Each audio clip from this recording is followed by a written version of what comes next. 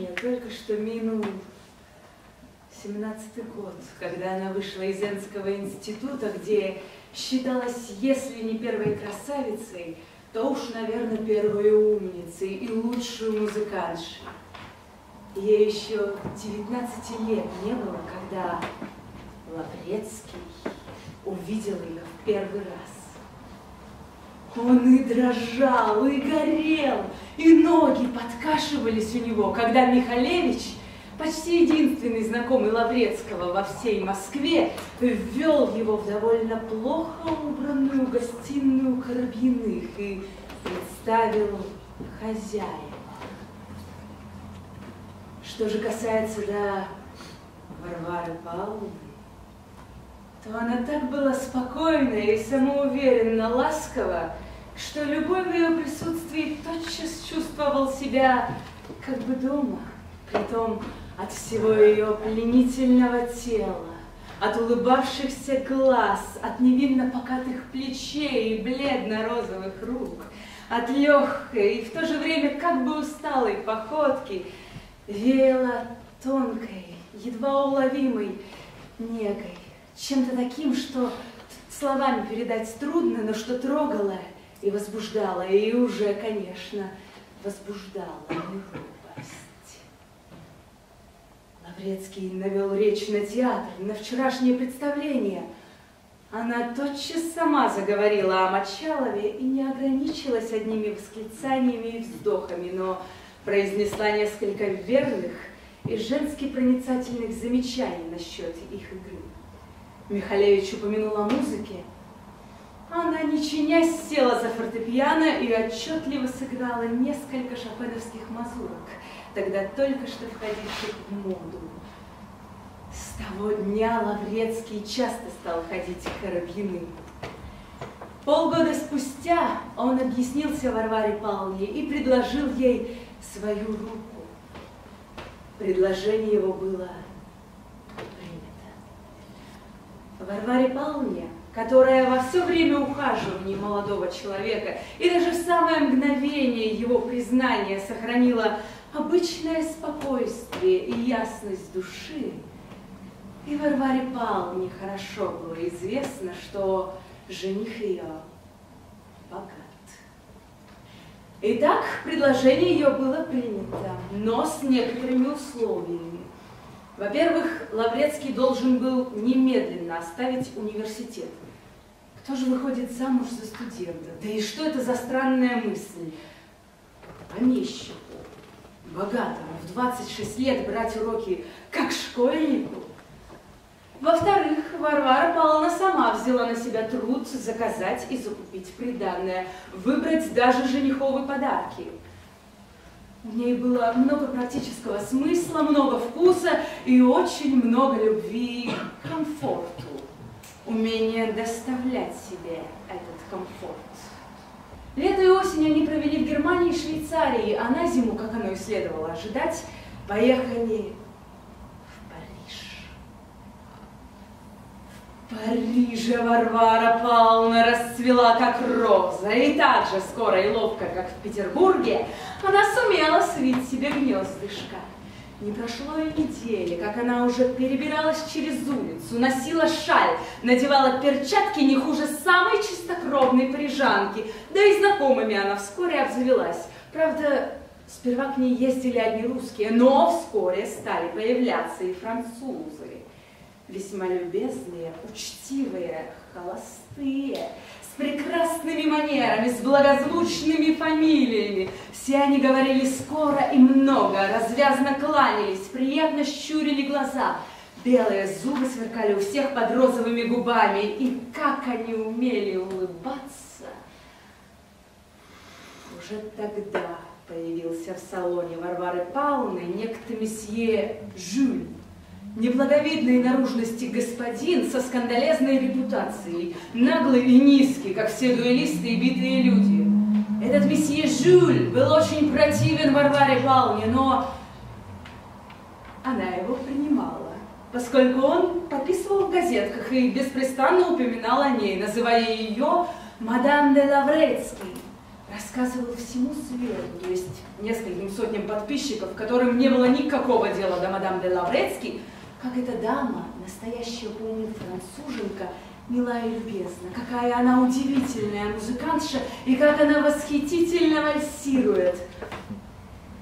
А Варвара Павловна действительно так вальсировала, что увлекала все сердца за края своей легкой, вылетающей одежды. Федор Иванович со своей стороны не скучал, хотя жизнь подчас тяжела становилась у него на плечах. Тяжела, потому что пуста. Я не теряю времени, думал он. Нет, все это полезно. Но к следующей зиме надо бы непременно вернуться в Россию и приняться за дело. Трудно сказать, ясно ли он сознавал, в чем, собственно, состояло это дело, и Бог знает, удалось ли бы ему вернуться в Россию к зиме. Неожиданный случай разрушил все его планы.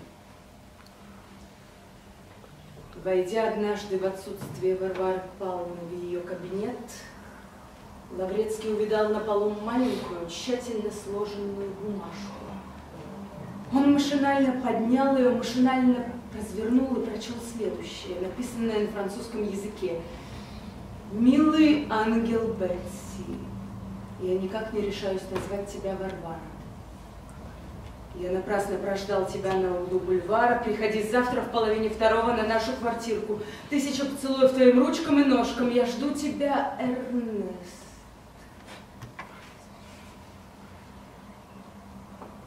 Лаврецкий не сразу понял, что же такое он прочел. Он прочел во второй раз. Он закричал, и задохнулся, и заплакал в одно мгновение. Он обезумел! Он так слепо доверял своей жене, что возможность обмана и смены никогда не представлялась его мысли. Прошло несколько минут. Прошло полчаса. Лаврецкий все стоял, сердце его мучительно сжималось, и ему казалось, что он падал, падал, и конца не было. Знакомый легкий шум шелкового платья вывел его из оцепенения. Лаврецкий затрепетал весь и бросился вон. Он почувствовал, что в это самое мгновение он был в состоянии истерзать ее, избить ее до полусмерти, по-мужицки задушить ее своими руками. Изумленная Варвара Павловна хотела остановить его, он мог только прошептать «Петси!» и выбежал из дома. Лаврецкий взял карету и велел вести себя за город. Весь остаток дня и всю ночь до утра пробродил он, беспрестанно останавливаясь и всплескивая руками. Он то безумствовал, то ему становилось как будто бы смешно, да даже как будто весело. Утром он прозяб, зашел в загородный дрянной трактир, спросил комнату и сел на стул перед окном. Он сидел, глядел и ничего не понимал. Не понимал, что же такое с ним случилось, от чего он очутился один, с горечью во рту, с камнем на груди в пустой, незнакомой комнате. Он не понимал, что же заставило ее, Варю, отдаться этому французу, и как могла она, зная себя неверной, быть по-прежнему ласковой и доверчивой с ним. Лаврецкий вернулся, наконец, в Париж,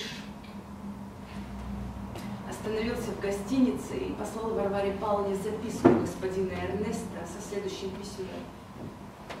Прилагаемая бумажка вам объяснит все. Кстати, скажу вам, что я не узнал вас. Вы такая всегда аккуратная, а роняете такие важные бумаги. Я не желаю вас больше видеть, полагаю, что и вы не должны ждать свидания со мной. Назначаю вам 15 тысяч франков в год, больше дать не могу. Живите как хотите, где хотите, желаю вам счастья, ответа не нужно. Лаврецкий написал жене, что он не нуждается в ответе, но он ждал. Он жаждал ответа, объяснения этого непонятного, непостижимого дела. Три дня спустя его уже не было в Париже, но он поехал не в Россию, как располагал, а в Италию.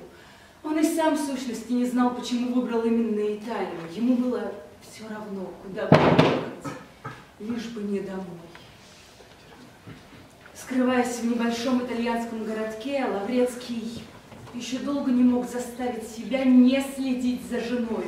Иногда такая его брала тоска по жене, что он, пожалуй, все бы отдал, даже, казалось, простил бы ее, лишь бы снова услышать ее ласковый голос, снова почувствовать ее руку в своей руке. Из газет он узнал, что она из Парижа поехала, как и располагала, в Баден. Затем он узнал, что у него родилась дочь. А потом стали ходить все более и более дурные слухи. Наконец, шумом пронеслась по всем журналам трагикомическая история, в которой жена его играла незавидную роль. Все было кончено. Варвара Павловна стала известностью. Лаврецкий перестал следить за ней, но не скоро смог с собой сладить. Он вообще очень равнодушен ко всему.